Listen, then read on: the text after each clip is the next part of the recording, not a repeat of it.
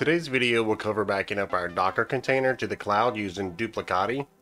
Duplicati features the option to back up to Google Drive, Amazon's S3, and many other cloud storage options.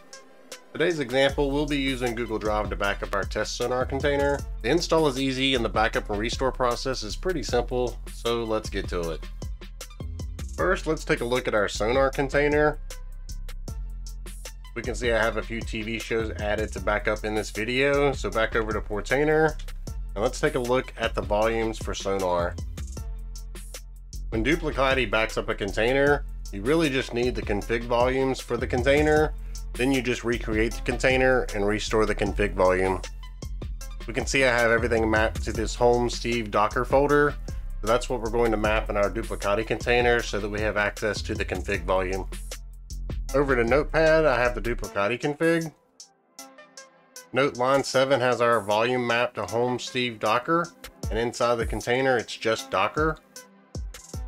Now let's put in our server and paste this Duplicati config. And back over to Portainer. We can refresh our container list.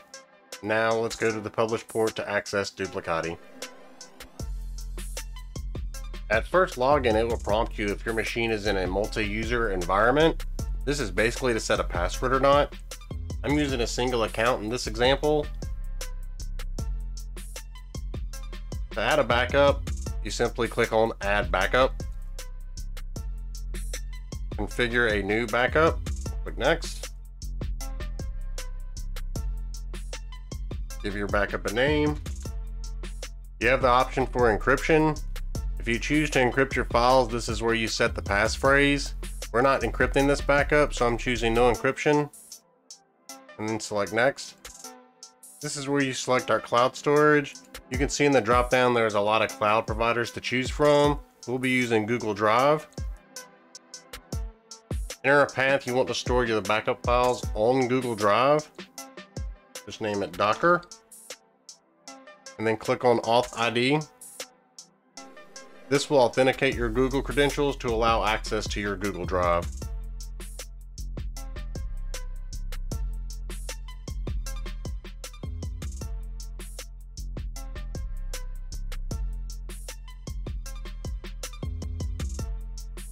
After authenticating, click on Test Connection.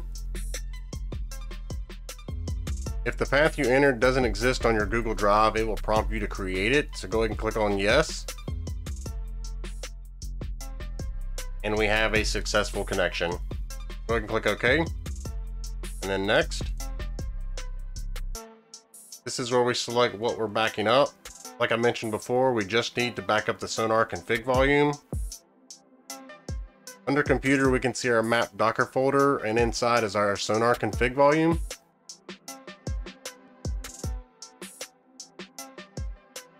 Go ahead and select it and select next.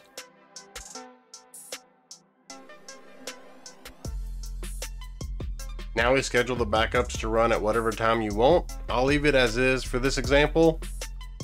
Then next. Remote volume size can stay the same you can click on this link for more information on the remote volume size. Backup retention is how long and how many backups do you want to keep.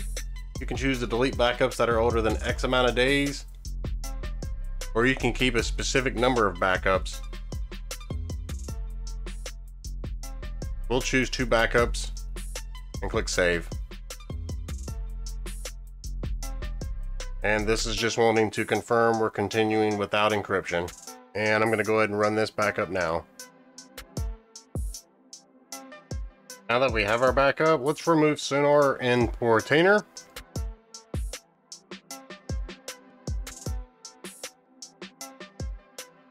And we'll remove the folder inside PuTTY as well. And now we can reinstall Sonarr. I have the config in Notepad. And we'll just paste that into our PuTTY session. Jump back over to Portainer, refresh our container list, and we can see we have Sonarr back. Let's go ahead and check out the published ports. And we can see there are no TV shows inside Sonarr. Now let's stop the container. And now we can restore the config volume. Back over to Duplicati and go to restore. We're doing a direct restore from backup files. Our backup location is Google Drive once again. We have to specify the same folder we did during the backup process. And authenticate your Google account again. Go ahead and test the connection. And the connection worked, so okay, and next. We didn't encrypt the files so we don't have a passphrase. Click connect. And now let's select our config volume to restore. We're restoring to the original location. We're going to overwrite any existing files and then click restore. Once the restore process is complete, let's head back over to Portainer and let's restart Sonarr. And now let's refresh Sonarr here. And we can see our TV shows are back. And that's all there is to it. If you have any questions, comments, feel free to leave them below. And as always, thanks for watching.